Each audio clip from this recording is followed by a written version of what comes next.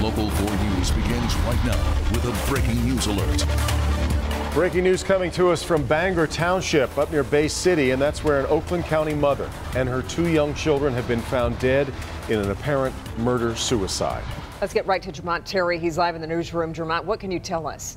Kimberly and Devin, this uh, story leaves so many people shaking their heads, asking one question why? Why would a mother hurt her children, and why would that mother drive all the way from Oakland County, more than an hour past Bay City, to Bangor Township to commit this act? Now, the mother and her two children were all found shot to death behind a building in Bangor Township. Now, that's just outside of Bay City. A maintenance man made the gruesome discovery. The worker wanted to know why a black sedan was parked on the property, but what he found shook him to the core, sending investigators to this area. Now, we're told the children, a boy and girl, were both under the age of five. Each had a single shot to their head.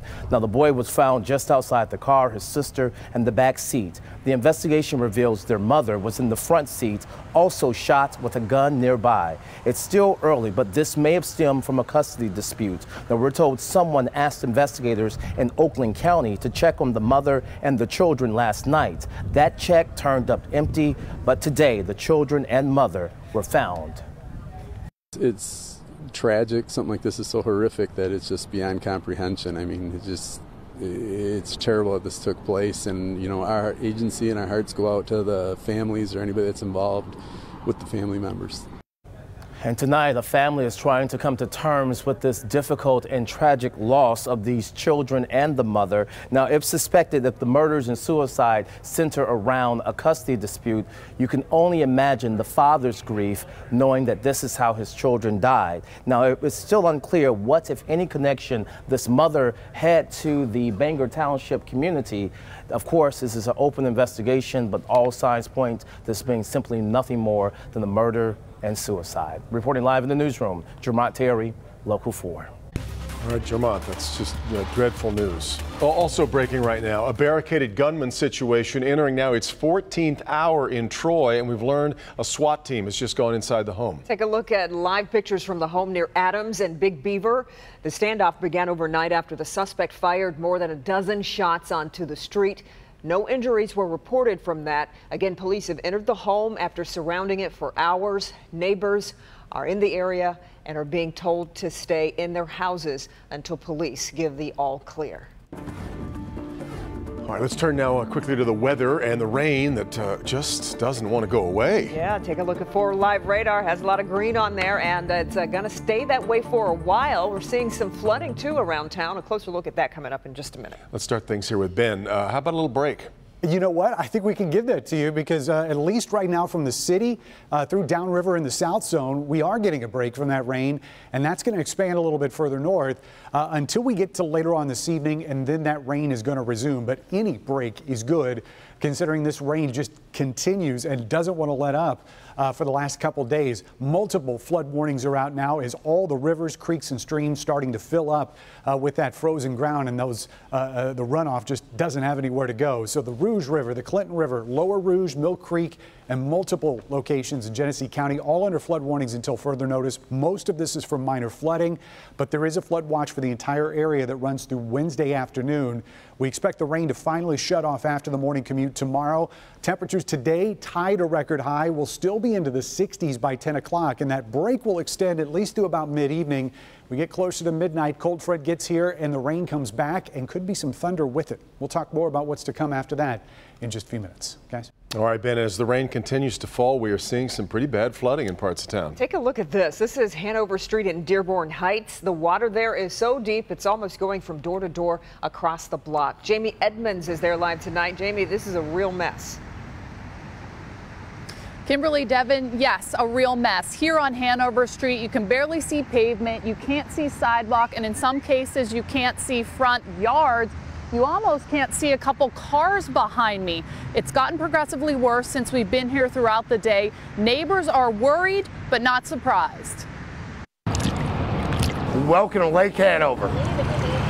It's a street. Brian Manuel is trying to take everything in stride. We flooded up here last time. We flooded up to the second second step here pretty much last time. But the truth is, when he saw the forecast, he knew there would be a problem. When you see the rain coming, you almost expect it, which is unfortunate but you try to prepare as best you can. This scene is something neighbors on Hanover Street in Dearborn Heights have gotten used to. When it rains, usually the street floods, and if you don't get your car out in time, you're in trouble. We're trapped in our home basically, because you can't drive in this, you'll ruin your vehicles. Back in 2014, the water rose so high, the creek behind the houses overflowed, and most of the houses flooded. In 2014, we had to crawl out our window, our kitchen window, because if you would open, the water was higher outside than it was inside. And then when we come out the kitchen window, it was up to our waist right here. The flooding has not reached that point yet today, but that's not stopping neighbors from preparing and hoping for the best. It's Mother Nature. You can only stop her so much. And neighbors are trying to prepare as best they can with sandbags and the like. So what's the problem here? Well, there's a creek behind these homes. We're at a low point and the water just rises when it rains a lot. I called the city of Dearborn Heights. They applied for grants to help mitigate this problem. They've done that across Telegraph on Hanover over there, bought up houses at better than market value, torn them down, try and fix the situation here. On this side, they just were awarded another grant for flood prevention. They hope to tear down eight homes on this side of Telegraph, hopefully mitigate this problem so the people who are left will not have to deal with this every couple years with a bad flood and sort of every time it rains with a smaller flood. Live in Dearborn Heights, Jamie Edmonds, Local 4 people, Jamie. Okay, thank you. And with weather like this, you'll want to have the Local Forecasters app. It's free to download in your app store. Just search for WDIV. All across the state today, flags are at half staff. Governor Snyder ordering that as we honor the life of fallen Detroit police officer Darren Weathers. Weathers was laid to rest today following an emotional ceremony at Second Ebenezer Church in Detroit. Hundreds of fellow officers were there to pay tribute to the officer killed last week during a training exercise in southwest Detroit. We turn to Paula Tutman now, who was there for today's ceremony. And uh, as these uh, terrible uh, occasions always are, Paula, very emotional very emotional and very sad. Funerals are sad anyway, Devin and Kimberly, obviously. When you cover the funeral of a first responder, then it's really increasingly more sad. But when you cover a funeral of a first responder so soon after covering a funeral of another first responder, particularly a Detroit police officer, it's excruciating. Inside Second Ebenezer Church in Detroit, a brief celebration of life outside the solemn reality that yet another promising young Detroit police officer has been lost, measured in days. Corporal Justin Broughton can. He made the long drive from Battle Creek just 19 days ago for the funeral of Officer Glenn Doss, and he finds himself here today for Officer Darren Weathers. It's a humbling experience and let you know what we deal with every day. Captain Rory McMahon was here two weeks ago as well. I asked them that they all pray that it'd be a long time before we go to another one, and here we are. So you can only imagine the unbearable pain of the family. A two-year-old daughter innocently dancing at the foot of her father's casket, unaware that he will never dance at her wedding. A young wife, Keisha. But I can't stress enough how much of a good father he was and still is to me. Too grief-stricken to speak at her husband's funeral, but a mother too proud not to. My son, Darren Maurice, was an incredible young man whose accomplishments most people only dream about. Darren's Uncle Clarence thought for a moment he might not even attend today. Because I didn't want to see this. In the end, he had to.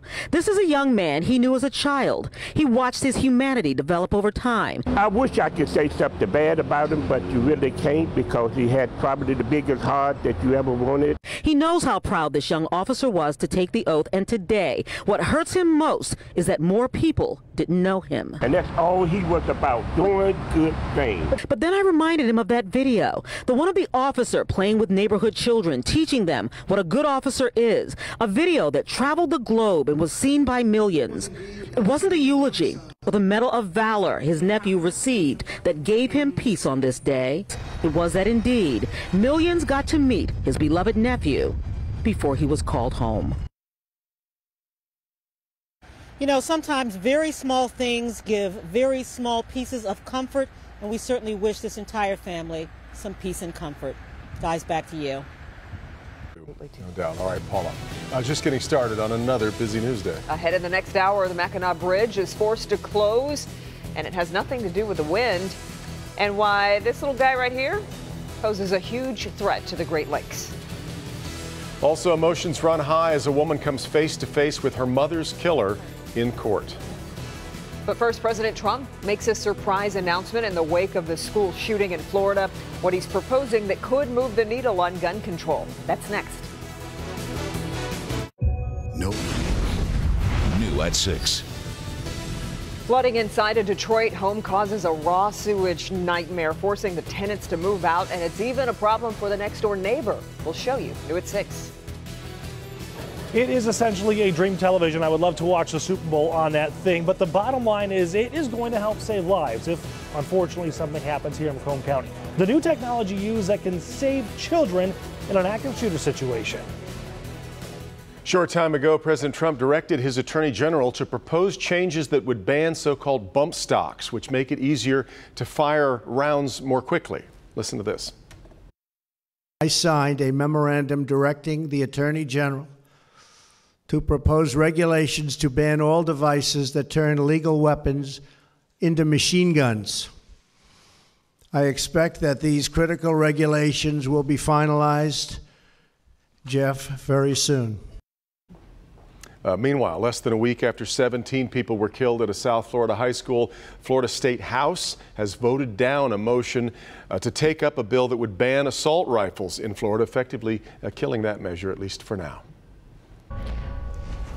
But survivors of last week's massacre are not giving up, taking their never again message to state lawmakers. More than 100 students are headed to Tallahassee for a rally tomorrow to try to make a change. They plan to push Florida lawmakers to do more to protect students from mass shootings, protection that students and faculty members from Stoneman Douglas High School did not receive. We have stared down the barrel of an AR 15 ourselves. I just don't think it's okay that we're 18, 16, 14 years old and we're going to our friends, family, neighbors, siblings' funerals. I don't want to hear about the senators and the representatives saying this is not the time. This is the time. The rally will take place at the Florida State Capitol tomorrow, marking one week since 17 students and faculty members lost their lives. Well, we've uh, got a lot of rain in the southern lower peninsula. Ice, the big problem right now up north at the Mackinac Bridge. The bridge authority closed the bridge early to traffic, uh, early this afternoon to traffic because of ice falling from the support cables. Happens from time to time. No injuries have been reported uh, this time around, fortunately. Bridge authority monitoring the situation. They will reopen the bridge to traffic as soon as conditions permit. So that's their problem. Down right. here. Yeah, we got too much rain and then the snow melting. It just has really created a mess. Yep. Yeah, and you know, we're more than halfway through this event, Good. but you know, when flooding possibilities happen, it's usually the tail end mm-hmm. yeah. that's the biggest problem. And we still. So, any, so the sooner we can get through this, then we're hurrying it as fast yeah. as we can. Uh, some of these totals uh, impressive to say the least. We're getting near the two-inch mark. Ann Arbor 1.8. This is as of 4 p.m. Uh, close to that at Metro Airport. We got a report in it from Garden City, which is almost two inches, 1.93 uh, measured at 4 p.m. Just over an inch and a half there in Waterford, Harrison Township, about an inch and a third, and Monroe, not quite an inch just yet. One of the lower totals uh, that we have seen, but the flooding pictures starting to come in on storm pins.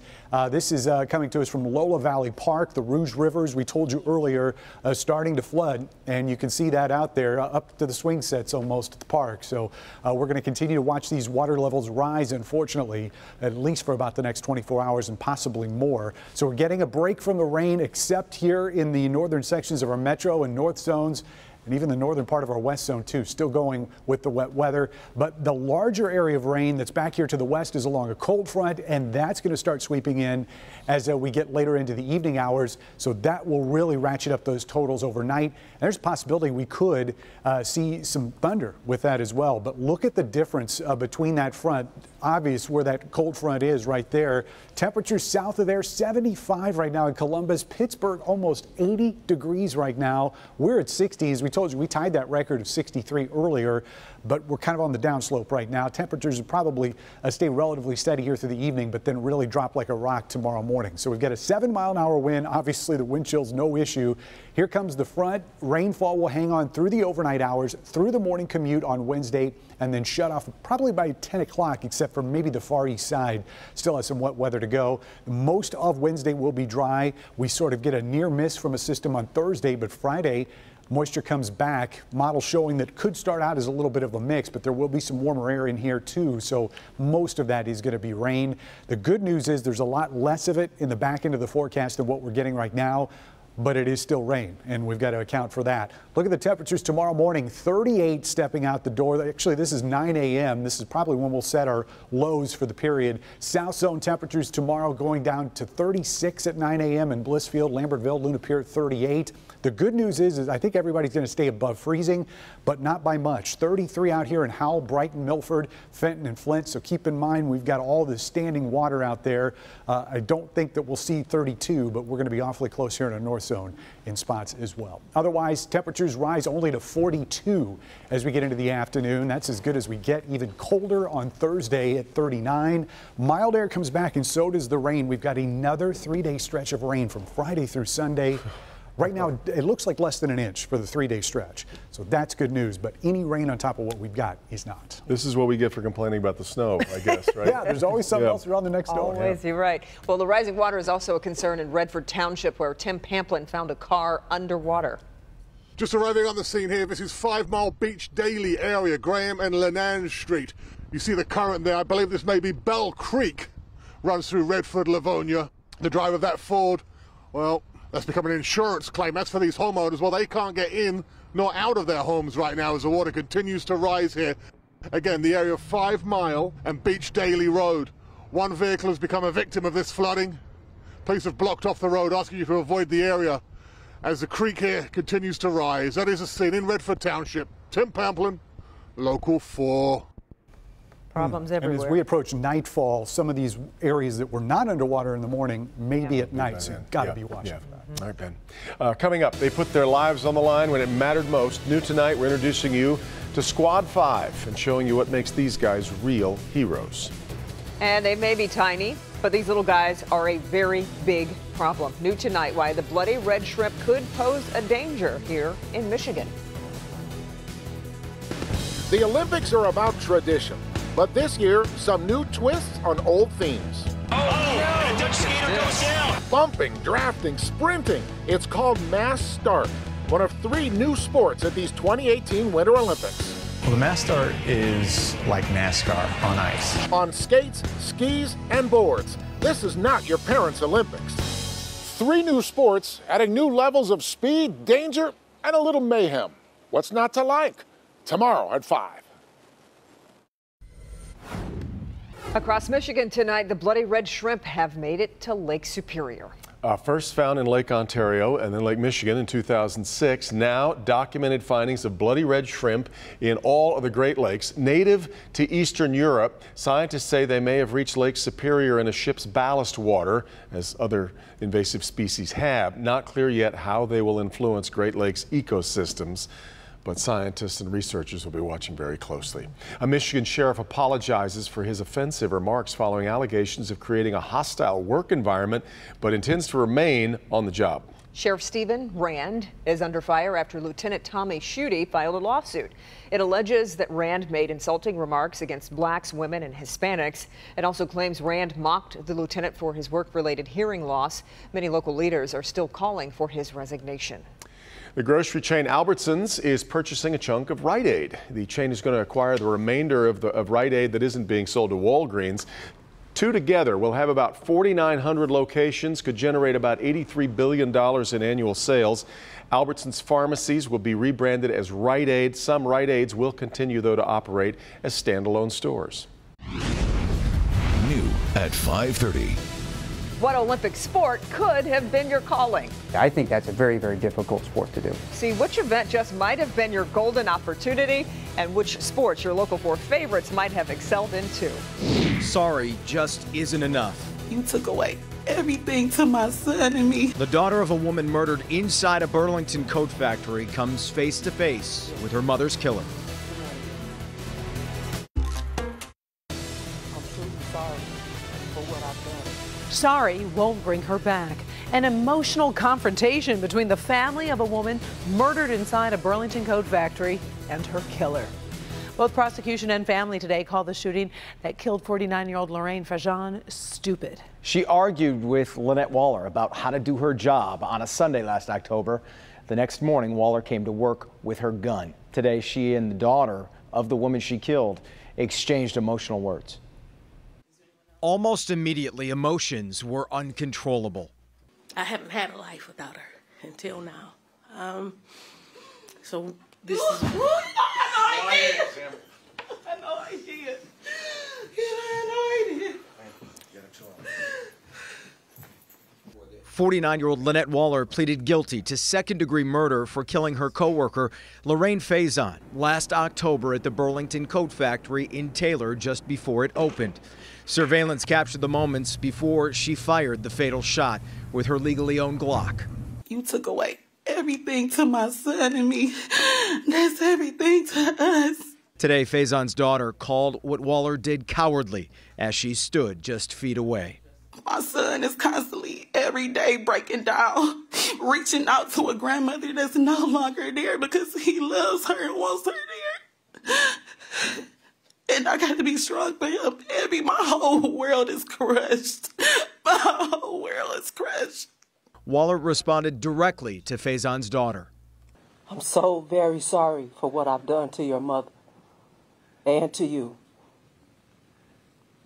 And when I think of the conversation that she has endured and had to have with her son, it just tears my everything up when he asks, Where's his grandmother?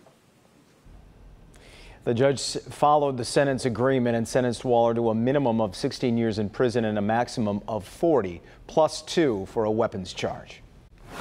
Well, it is a mess out there, whether you've got a flooded yard, perhaps leaking in the basement. We saw Dearborn with that car just submerged. It's a mess. Yeah, usually most times of the year the ground can soak up some of this stuff, but the ground's frozen. That's right. And it's like hitting concrete and it's just running off uh, and flooding lots of parts of the area. 4 Live radar shows about half of us getting a brief break from the rain that's going to last probably until the mid-evening hours. So that's some good news. Still going here, uh, mainly across our north zone and north of I-69 especially. But you get back to the west and there's a line of some embedded heavier rain that's out ahead of the cold front, just now starting to work into West Michigan. That's on its way here. And we will see that rain uh, continue to spread across the area later on tonight. Another shot that we got in on storm pins. Again, this is from Lola Valley Park. And you can see that's a road sign down there and that water is almost to the bottom of that sign. If you don't have storm pins on your phone, go get it. It's free. It's the best way to get us pictures and videos as the flooding continues across southeast Michigan. The bottom line now through 10 a.m. is when we're looking for that rain to continue. Another one inch plus on top of what we've got already. Minor river and street flooding are going to be the biggest impacts, and we'll pinpoint where that's going to be the worst coming up. Jason. All right, I'll take it from you, Ben. Overnight storms caused damage and some injuries in Texas. Two people were rescued from storm debris after severe weather hit a mobile home in Joshua, Texas. That's 50 miles southwest of Dallas. Several other homes were also damaged, including one that completely flipped over onto a van. Both residents of that mobile home were taken to the hospital. The extent of their injuries unknown at this time. New charges by special counsel Robert Mueller unsealed, this time against a lawyer who worked with former Trump campaign officials. All of this at a time when the calls for tighter gun laws grow louder and the president signaling a compromise. NBC's Edward Lawrence is at the White House this evening. This two page document was unsealed. It says that a lawyer with powerful Russian connections lied to the special counsel. Today, another shoe dropping in the Russia investigation. This time, the son in law of a Russian oligarch pleaded guilty. Special counsel Robert Mueller charged Alex van der Zwaan with lying about contacts he had with former Trump campaign aide Rick Gates. I believe that today's plea is just one more step in that me- methodical approach by Robert Mueller to reach that ultimate conclusion. So far, the special counsel charged nearly 20 people in the probe, including indicting 13 Russians last week. Today, President Trump continuing a days long tweet storm, blaming former President Obama for not stopping Russian meddling, adding he thought crooked Hillary was going to win and he didn't want to rock the boat. It's very clear that Russia meddled in the election. It's also very clear that it didn't have an impa- impact on the election. Also today, the president signaled a softening on gun control following last week's school shooting in Florida. Behind the scenes, he's said to be pushing a bipartisan bill to strengthen background checks. And during an awards ceremony with law enforcement, he announced action to ban so called bump stock devices like the one used in last year's mass shooting in Las Vegas. And just a few moments ago, I signed a memorandum directing the Attorney General to propose regulations to ban all devices that turn legal weapons into machine guns. Some Democrats skeptical, others hopeful. This is a sign the politics of gun violence are shifting. The president will meet with students and teachers tomorrow to get their input on what gun control steps to take next. He then talks with state and local officials on Thursday. At the White House, Edward Lawrence, Local 4. Earlier this evening, Attorney General Jeff Sessions announced the formation of a cybersecurity task force, but the memo doesn't mention Russia or the ongoing investigation. Firefighters and EMS routinely risk their lives for the safety and well-being of others, but some truly go above and beyond the call of duty. Today, members of Detroit's Squad 5 were commended for their bravery and quick thinking, which saved the life of a Detroit woman last month. Our Kim DeGiulio has their story. This is the scene of a fire that broke out in late January. A woman was trapped inside of this home, but thanks to the training of fire crews Squad 5, they were able to get her out and save her life. Cartier Harris, a new member of Squad 5, has never experienced a rescue as serious as this one. It never happened to me before. It's my first time. Gerard Baber describes what it was like approaching the burning house on Grigg Street in Detroit. Civilians breaking windows along with trying to get in, you know, it's serious. Squad 5 quickly went into the home to find the woman who was trapped. Did a search in the kitchen, couldn't find her, walked through fire. After getting trapped in the bedroom themselves, Squad 5 was able to escape and find the woman despite the fact that the place was filled with smoke and fire. They found the woman in the kitchen, pulled her out, started a few rounds of CPR, she came back. That woman is continuing to live her life because of Squad 5, which is why the team was honored today. If not for the heroic efforts and selfless actions of the crew of Squad 5, the situation could have been far more tragic. Gerard, who has been a firefighter for just four years, says when he was in the house, he thought back to his training where he learned to not panic in a situation like this one. You have to stay calm and think rationally, and that's what makes us professionals. Cartier tells me that she was so proud of her bravery and plans to put this award on display. Oh, on my wall. I think I'm gonna blow it up. it gotta be bigger. In Detroit, I'm Kim DeGiulio, Local 4. And this isn't Squad 5's first big commendation. Back in 2016, former Squad 5 member Eric Ivy received a Purple Heart for fighting through severe burns to help extinguish an apartment fire on the city's west side. Well, the U.S. has two more medals in two events that have been pretty good to the Americans so far, figure skating and the halfpipe. I love the halfpipe. That brings the U.S. medal count, by the way, to a cool dozen. NBC's Gina Kim joins us now live from Pyeongchang with more on what appears to be a winning streak. Good morning over there, Gina. Check out the bling I got around my neck. This is the real deal, the actual medals that the athletes are awarded here at the Olympics on special loan to us from the IOC and the Korea House. And let me tell you, they are so heavy. So, so far, we have won five of these, three of these, and now, as of last night, four of these. Siblings Maya and Alex Shibutani briefly took the number one spot after their free ice dance performance last night. Ultimately, they slid to bronze, with gold going to Canadians Tessa Virtue and Scott Moir, who are now the most decorated figure skaters in Olympic history. We're so proud of how we performed today. I mean, like, two two medals is amazing. I'm just so, it's, I'm speechless. Whoa! Another bronze came from Brita Sigourney of Carmel, California, in the ski halfpipe. Canada took gold, France took silver. Sochi gold medalist Maddie Bowman broke down in sobs after falling at the end of all three of her runs to take 11th place. Here is with first shot. He scores! U.S. men's ice hockey beat Slovakia 5 1 in an elimination round. They advanced to face the Czech Republic today for a spot in the semifinals. I think uh, we came in here knowing that we had to win. Obviously, we're going to go home, uh, do or die. The winning could continue as Lindsey Vonn skis for a medal in alpine downhill, and the American ladies take on day one of singles figure skating. And more doping news. A second test did confirm that a Russian curler did have a banned drug in his system. And so, what will happen to him and the team from Russia will be determined shortly before the closing ceremony. And another Slovenian ice hockey player has now been accused of doping. In Pyeongchang, Gina Kim, Local 4. And before coverage begins tonight, be sure to tune into the Ozone. We'll give get you ready for all the action that's happening tonight in prime time as ladies figure skating begins the short program. And Lindsey Vonn, as you heard, goes for the gold in the downhill. The Ozone is at 7:30 tonight, right here on Local 4. Apple is sounding the alarm tonight. Update your iPhone. New at 5:30, how something called a text bomb could put all your information in jeopardy. And hey, KFC, you had one job. What has forced hundreds of its restaurants to close coming up? Hey, Kim. Hi, guys. What Olympic sport could have been your calling? Coming up, see which event just might have been your golden opportunity and which sports your local four favorites might have excelled at as well. That's coming up next. Prime time. New at 6. Blue and orange and sparkles, oh my. All of these gowns in mint condition, ready for prom season. Why this project has turned into a passion for one local woman. All right, Jamie. Plus, DNA diets. They're trendy and seem to be based on science, but do they work? A big study is in. We'll have the results for you at 6 in Good Health.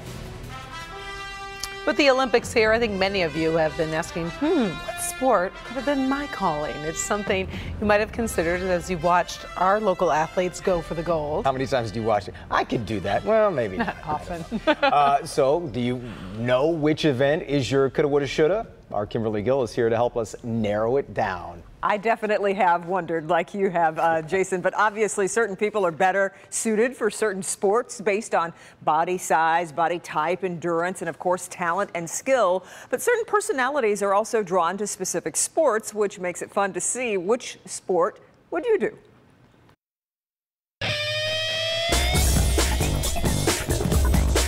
Would you have slid to glory in skeleton? Soared to new heights on the ski jump? Or perhaps rock the world of curling? It's intriguing to imagine what sport in which we might have excelled. Skating's fun, but I don't know, downhill, that looks like fun too. I mean, you know, it's it kind of gets you excited about that. It's like, oh, I should maybe I should try downhill or cross country skiing. Cross country skiing is one of these events where you get to succeed or fail on your own with your skills, you against the trail, the weather, and a little bit of strategy on. Beaumont Dr. James Bicos has worked with numerous Olympians over the years. So what sport would have been his specialty? Probably the most interesting one that I would I would want to strive to do would be the biathlon. Because I think you, you really have to incorporate a lot of cardiovascular. You have to be strong, but then also kind of control your body to be able to shoot at a very small target and control your heart rate. I think that's a very, very difficult sport to do. If you need help narrowing down your choices, there are various online quizzes that take into account your physical and mental strengths, personality, as well as personal preferences. For Dr. Bicos, it was a split decision. Took two quizzes. One of them, I was supposed to be a bobsledder. It didn't say what position on it it was. And then the other one, it said that I should do skiing. I don't know about the bobsledding if I if I agree with that. Um, and as far as the skiing, I, I, do more snowboarding. So in my mind, I'd like to be like a Shaun White and maybe to keep up with my son, but that will never ever ever happen. But it's still fun to dream. So for everybody at home, we put a link to the quiz on the Olympics page at clickondetroit.com. Go check it out. But we asked each of you to take the quiz, it was which is why we're all assembled yes. here. Uh, Karen, you're always graceful under pressure, so it's no surprise. Oh my uh, goodness! oh, oh wow! Shot. Yeah. Um, ben, get stoked because uh, Yeah. Oh, you are secretly a snowboarder at heart. No stitches in the lip. Pretty good. Good. Devin, we'll call you Flashpoint Scillian as you pilot the bobsled down the track. I can see you doing that. Shoulders you got All right, Jason, get ready to slide for your life because it seems skeleton is your sport. And if they ever start a doubles team, count me in too because I got skeleton too.